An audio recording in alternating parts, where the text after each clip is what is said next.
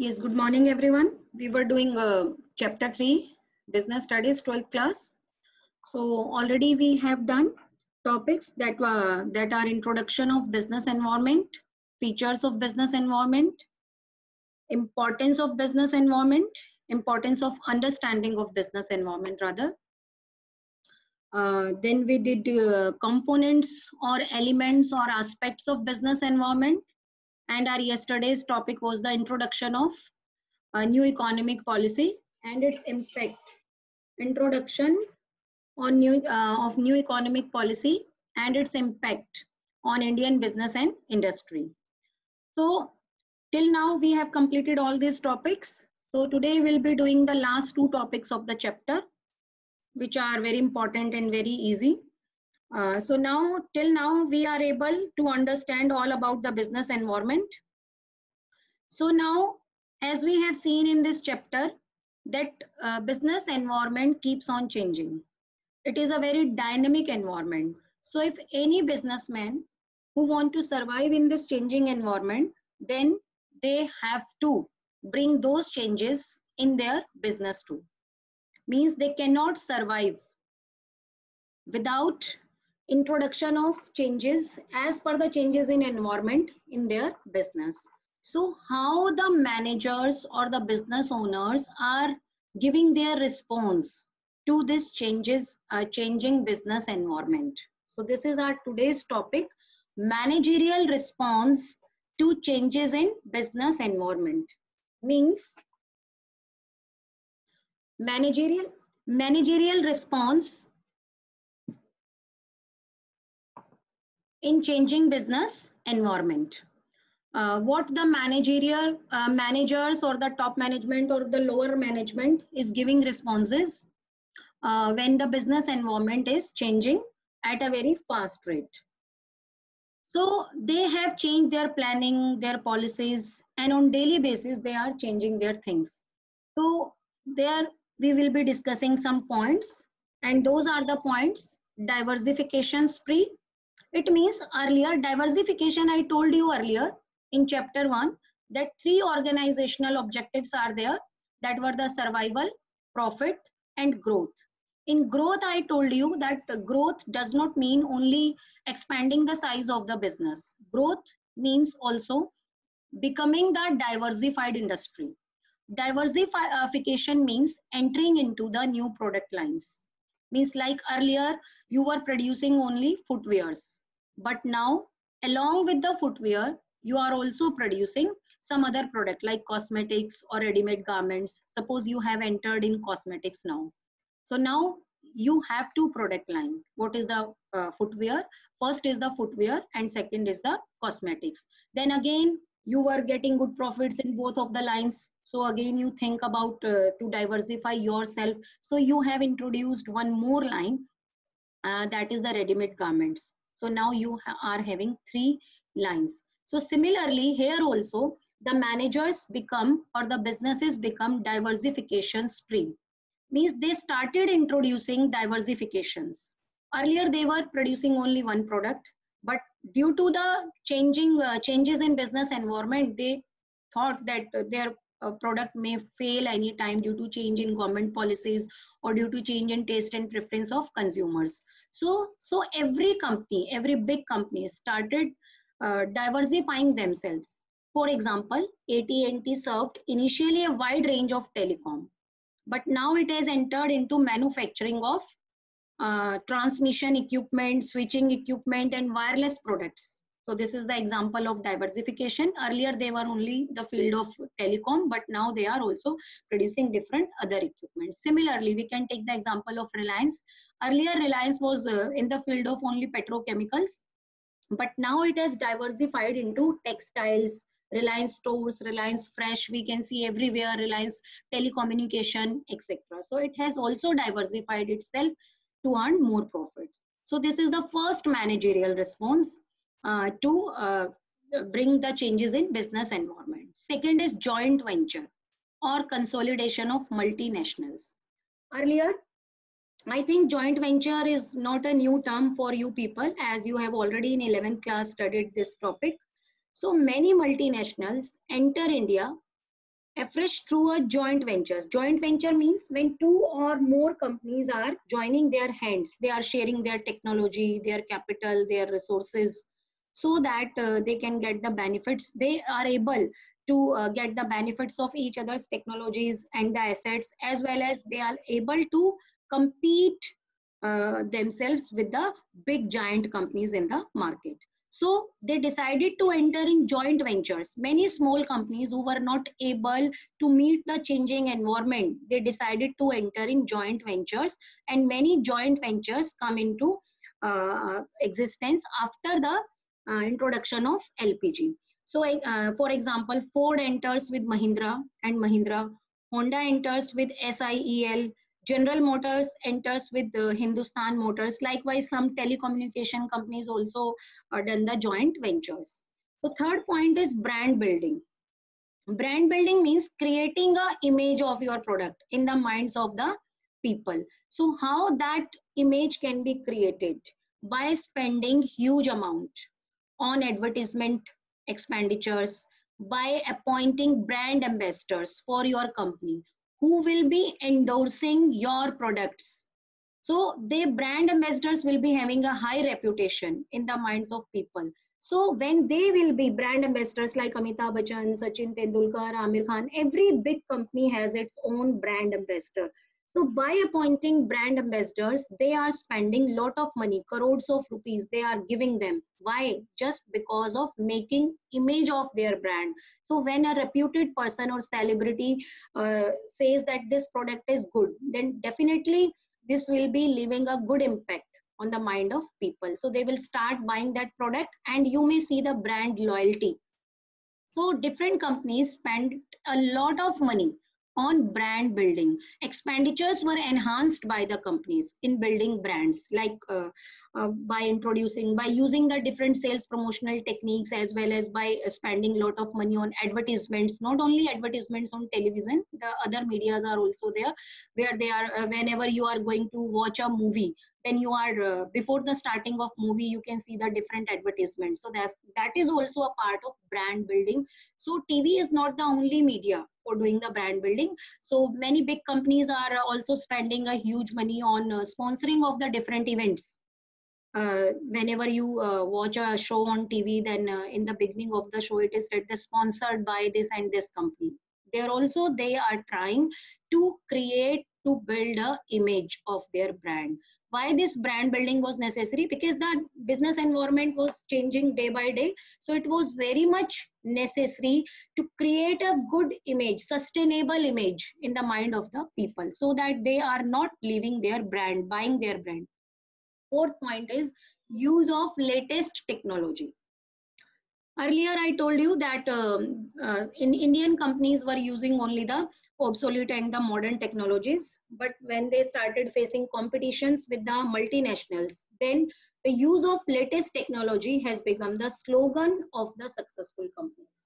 Now, each and every company has to use the latest technology to survive the competition. Best example is that of cellular phones, laptops, and all the electronic devices in which we can see the inventions and introduction of new technology on daily basis. So it is also a response of the changing environment. When the environment is changing, so businessmen or the managers are forced to uh, bring the introduction of the new technology. Next, fifth point, sharply improved compensation levels. Sharply improved compensation level means earlier the companies were not offering very good salary packages to their employees. But nowadays, the salary packages are increased uh, to a great extent, especially for the managerial and the employees who are providing technical services like engineers, etc. So starting salaries for uh, engineering and management graduates have risen significantly. Not only their salary, but all the other uh, persons who are working at the lower level or other persons have also increased. So this incentive schemes of various kinds related to the performance are becoming common. Like not only the salary packages are given, uh, good salary packages are given, but along with the salary packages, many incentive schemes, incentive schemes means the schemes which are associated with their basic salary so that uh, the employees are motivated uh, to get the uh, job to do the job there. Uh, like uh, medical facilities provided some companies are providing uh, the their petrol bills and the house uh, facilities provided cook facilities provided or sometime their uh, bonus is also linked with the their performances. So these are the different incentive schemes. So along with the sharply improved compensation level schemes were also introduced to meet the changing requirement of the environment and the last point, which we have already discussed, customer focus. Yesterday also I have discussed this point. Earlier the goods were produced, keeping in mind the consumer needs, uh, sorry, producer needs. It means whatever was produced by the producer that were uh, sold by the uh, seller and consumer has to buy that product only. No choices were there. But nowadays, this orientation has changed. Now sellers, producers are not making product, producing product according to their wish. Rather, they are first finding out the needs of the consumer. They are finding out the needs of the consumer and then uh, the consumer needs are, they are trying to satisfy the needs of the consumer. How? By making products as per their needs. So this is a tremendous difference in the nature and quality of product just because of the customer focus. Nowadays, different marketing research, advertising, sales promotion technique like BOGOF. Yesterday also we have discussed this, buy one, get one free. In shopping malls, you can uh, easily see this technique. Public relations program like sponsoring of the events, etc. have become more significant. So these are the six points through which these are the six points through which the businessman is responding or the managers are responding uh, towards the changing business environment. I am repeating all the headings again. So managerial response to changes in business environment. First is diversification spree. Most uh, in most of the companies have become diversified, means they have entered in the new product lines. Second is joint venture. Many companies entered in the joint venture uh, to increase their uh, uh, capital and technology. Then brand building, lot of expenditures are spent on brand building or the image building of the company. Then use of latest technology. Companies are using the latest technology. So uh, they keep uh, themselves modernized technology. Sharply improve, improved compensation levels. Compensation levels, especially for the managerial and engineering staff, has uh, increased with many more incentive schemes. Then customer focus customer need has given the prime importance. Now the products are produced according to the need of the customer. So these are all the points related to the managerial response. Now, the last topic of the chapter is demonetization. So before de, uh, doing the uh, demonetization, then afterward we'll discuss one case study. And demonetization is not a new concept, my dear students and you all know very well because uh, this happens in front of you uh, in the year 2016 on 8 November. our dear uh, Prime Minister announced uh, that uh, two largest denomination notes, five rupees 500 and 1000, are uh, demonetized with immediate effect, ceasing to the legal tender except for few specified purposes. So these two big denomination notes were uh, declared by our prime minister that they will be no further more accepted in the market. Now they are no more legal tender money. So and few accept uh, specified some purposes which were like paying utility bills and some other purposes were there. And just because of this demonetization around 86% of the money in circulation become invalid. 86% money because the total money which was in circulation rupees 500 and 1000 rupees note cons constitute 86% of that money in supply. So 86% money, imagine 86% money became invalid, which was in circulation. So all the people of India were uh, forced or have to deposit the invalid currency in the banks to get it changed.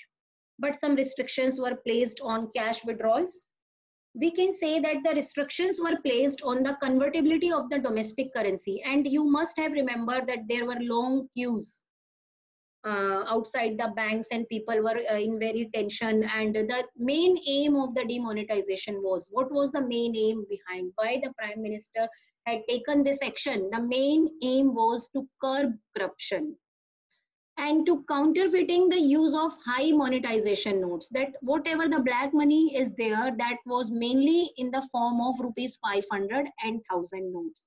That was also used for the illegal activities like terror funding and other activities. Black marketing etc were also involved for were the result of the um, uh, black money. And especially the accumulation of black money yes threatened by the income that has not been declared to the tax authorities. When the people have black money do you know uh, the meaning of black money? Black money means the money which is not recorded anywhere on which the people are not paying taxes. So especially the businessmen were having black money because the salaried people, whenever they are getting salary, they are getting salary after tax. So they all are paying taxes. So their all money is in records with the government. But the businessman money, the whole of the businessman money is not in uh, record. So sometimes they create black money by selling the goods without bill. So whenever you are buying any good without bill, it means you are saving your tax so it is your benefit that you are saving tax but on the same time you are also giving this benefit to the seller also because if you are not getting bill then that transaction will not be recorded uh, in the official records of the businessman or in this manner that money uh, will create the part will become the part of the black money because he need not to pay any tax on that money so uh, government wanted to declare all the black money so that the corruption and the accumulation of the black money uh, could be stopped. So what are the features of the demonetization? So this is all about the demonetization. Now we'll be studying the features of demonetization. First feature of demonetization is as a tax administration measure. Many people were uh, uh, held the cash with them. They were having the large stocks of cash. So when the uh, when the demonetization was introduced now they have to declare their money.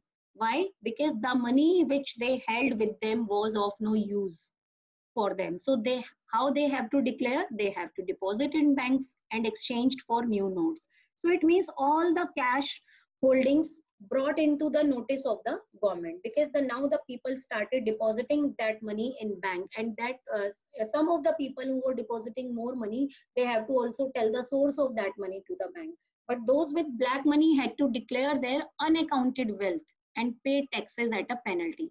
So all those people who have deposited money uh, uh, beyond the certain limit so they have to declare their all unaccounted wealth and they have to pay uh, all the previous taxes at a penalty penalty rate then second is demonetization is also interpreted as a shift on the part of the government indicating that tax evasion will be no longer tolerated. It means now earlier the people were uh, doing the tax evasion. Tax evasion means stealing of tax.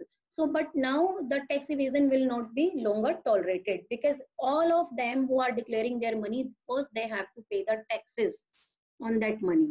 Then demonetization also led to tax administration channelizing savings into the formal financial system. Earlier, people were having saving with them. They were not depositing in bank. Now, forcefully, uh, they have to deposit all their savings, small savings into the bank to convert them, to convert them into uh, funds.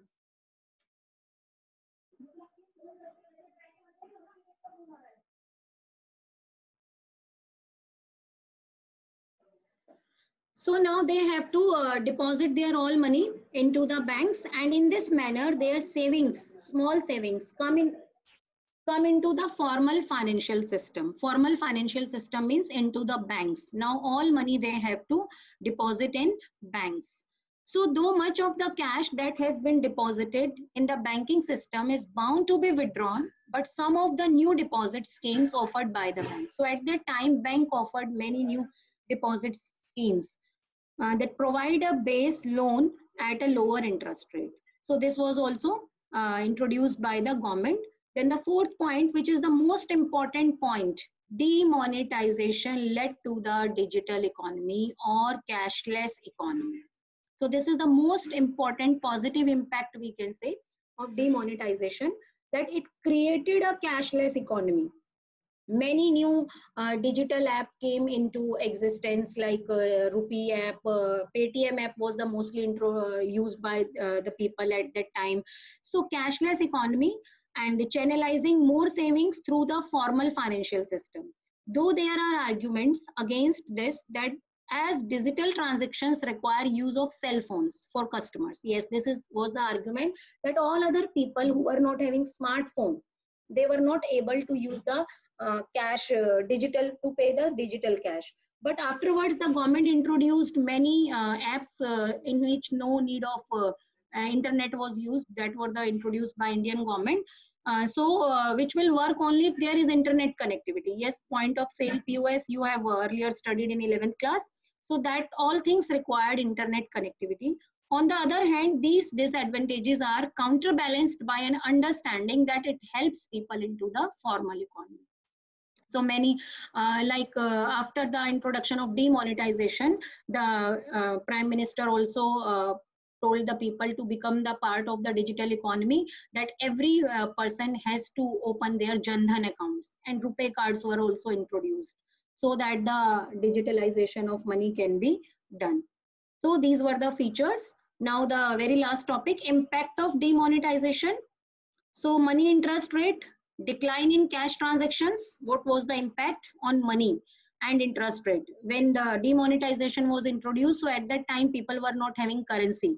So they declined the cash transaction. There was a great decline in the cash transactions. Now most of the people were using uh, e-payments Next, bank deposits increased because all have to deposit their money in banks to get it converted. Increase in financial savings. When the people have deposited, so uh, the, all the small savings come into the financial system of the country. Now, private wealth declined. Why it is declined? Just because uh, the people have to declare their wealth now and some high demonetized notes were not returned and real estate price fell uh, you remember that when uh, demonetization was introduced, then many at many places we have seen in news channels the old currency was found without any person. So this uh, definitely led to decrease in their private wealth because they were not able to declare that money because they were not having uh, any source of that money. That money was completely black money. So they have to uh, destroy that money. So in that case, their private wealth reduced. Public sector wealth, no effect because in public sector, all the money is the white money, no money is black money. So there was the no effect on public sector wealth, but private sector wealth decreased. Digitization. Digital transactions amongst new users like RuPay, Aadhaar card, enabled payment system, AEPS, uh, taken place and uh, these things were introduced then real estate business prices declined. As in real estate business, most of the prices are just because of uh, black money. So black money was reduced and just because of this, uh, prices in real estate business also decreased. Then tax collection. Think about tax collection yes, there was definitely an increase in the tax collection because of the increased disclosure. Now the black money which was uh, uh, at the home of the people, now they have to declare that money if they want to get it converted. When they were declaring, so if uh, they have not paid any taxes earlier on that money, now they have to pay taxes on that money.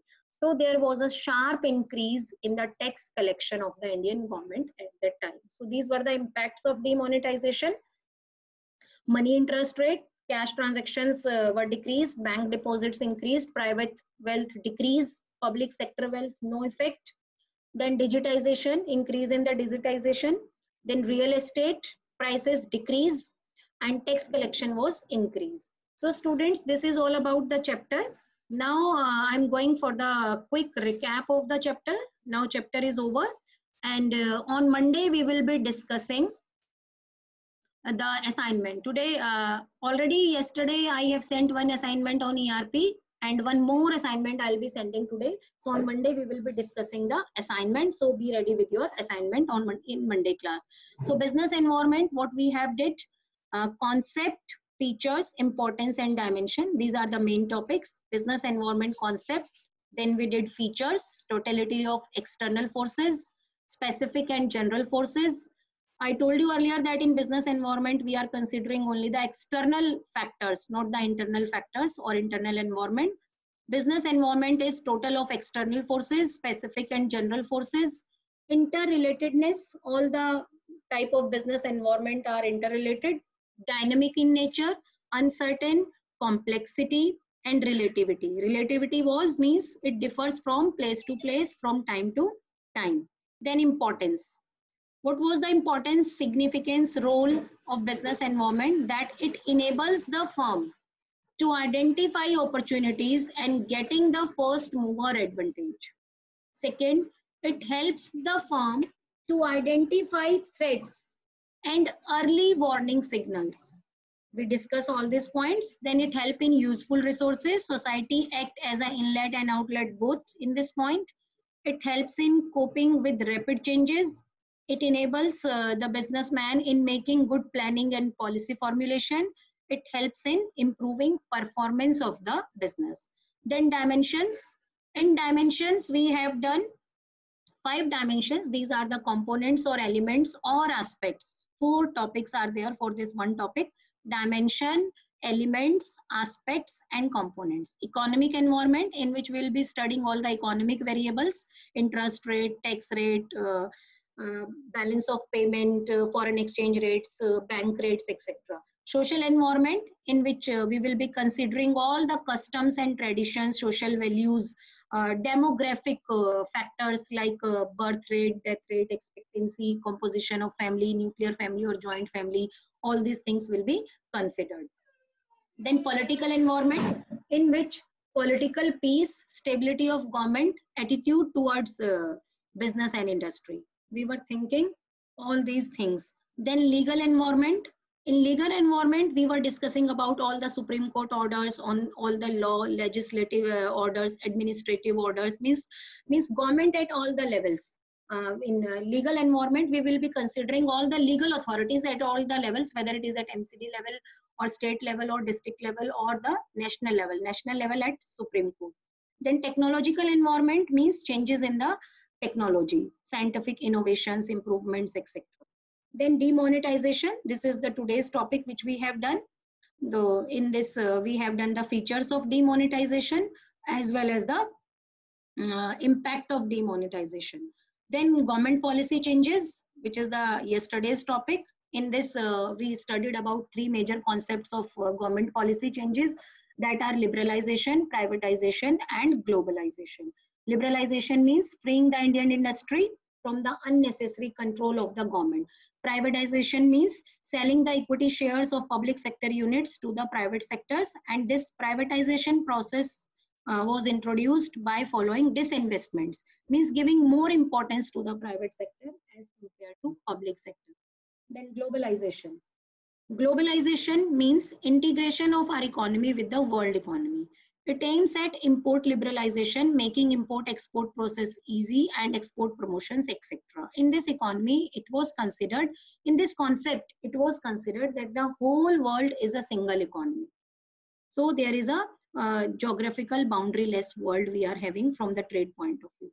Then uh, we did impact of government policy changes on business and in that, uh, industry, yesterday's topic, increased competition, when the government introduced this policy, then what were the impacts of the on the Indian business and industry? So first impact is competition was increased for the Indian industry. Second, customer demands were increased. So more demanding customer as they were having wider choice. Then rapidly changing technological environment with the entrance of the MNCs. Now Indian industries has to also change their technology with a rapid uh, speed the need for developing human resources. Now the training need was felt for the human force of the organization adopting market orientation. Their focus the seller focus was uh, transferred from uh, uh, producer oriented to the uh, consumer oriented. Means go to the market first then find out the need and then produce the product according to those needs. Then necessity for change firms have to continuously uh, change their planning policy, their strategy, and their other operations because the environment uh, keeps on changing. Then loss of budgetary support to the public sector. Now the PSUs were not getting enough funds from the government budgets. Rather, government uh, told them to generate their own funds. Rather depending on the government. So they have to face disinvestment. Otherwise, if they are not improving their performance, then they have to face disinvestment. Their control will be given to the in the hands of the private sector. Then the last topic which we did today is, is the managerial response to the changing business environment. In this topic, we did against uh, five, six points. Uh, so the first point was diversification spree. And the second is joint ventures. Third is brand building. Fourth, use of latest technology. Five, sharply improved compensation levels. And sixth is customer focus. So students, this is all about the chapter. And uh, today our chapter is completed. Now I'm going to ask some questions. So uh, you have to give me answer in chat. Okay. Uh, because I'm not uh, unmuting you. Sometime it creates uh, disturbance. Okay. So I'm asking first question. You can give me uh, your answer in private chat only. Okay. My first question is liberalization means liberalization means i'm giving you four options integration among economies policy of planned investment reduced government control and restrictions and d is none integration among economies yes very good yes c is the answer all are giving me correct answer harjas anirudh divya uh, harshit Kunal, Tanmay Jain, Anmol Arora, Saksham Sharma, Kartik Gupta, uh, Shaurya Bhola, Mitali, Anushka. Yes, very good students. You all have given me uh, correct answer. Now, uh, my next question. Which among the following is the correct impact of demonetization on private wealth and public sector wealth? Which among the following is correct impact of demonetization on private wealth and public sector wealth? In impacts, we have discussed what was the effect on private wealth and what was the on public wealth. I am uh, reading options. First option A, private wealth decreased and public sector wealth increased. Second option, no effect on private wealth and public sector wealth decreased. Third option, private wealth increased and public sector wealth decreased. Fourth option, no effect on public sector wealth and private sector wealth decreased. Yes, yes, Gurnoor, Priyanshi, Saksham, Vaibhav, Dishank, Tanmay, Anushk, Mitali, uh, Khushi, Ayush, Parth, everyone has given me correct answer. It's D. Because I told you that there was no effect on public sector wealth because the whole wealth of the public sector was the uh, white money and the private sector wealth decreased. Next, when was economic reforms program introduced in India? I am telling you four years. So you have to tell me the year of introduction of new economic policy or economic reforms. 2017, 1990, 1991, 2007. Yes, Adit, Tanmay, Vaibhav, Toshit, Gurnoor, Anshika, Jatin, everyone has given me correct answer. Very good. Yes, Passing of Companies Act 2013. Passing of Companies Act 2013 is a component of which environment? Social, political, legal, economic environment. Out of these four, what is the answer? Passing of Companies Act. Social, political, legal, economic. Yes, yes, Yes, Shubhangi is correct. Anushka Kothari is correct. It's not economic. Whenever we are passing any act, then it is legal environment. Yes, Harshita. Yes, Weber. It's legal environment. Whenever we are passing any act, I told you that in legal environment, passing of act, Supreme Court decisions, High Court decisions, and uh, any decision given by in any court case, that will be act as a um, legal environment, not the. Now, next question Identify the environment which requires that advertisement on baby food must inform the potential buyer that mother's milk is best. So this is the warning given at the baby's food that uh, which environment requires this. Uh, social environment, technological environment, legal environment, economic environment. yes it's legal not social because the like we are writing on all the cigarette packets that smoking is injurious to health so this is the legal environment not the social environment legally it is mandatory to give such type of information on the product so it is the example of legal environment. Yes. Next. Dash is the impact of demonetization on public sector wealth. Dash is the impact of demonetization on public sector wealth. What is the impact of demonetization on publics yes yes very good. Yes anushka Anmol jatin everyone has given no effect. No effect is the impact of demonetization on public sector wealth so students i'm ending today's class here and uh, uh, I'll be uploading assignment on ERP and on in Monday's class we will be discussing only assignments. So goodbye to all.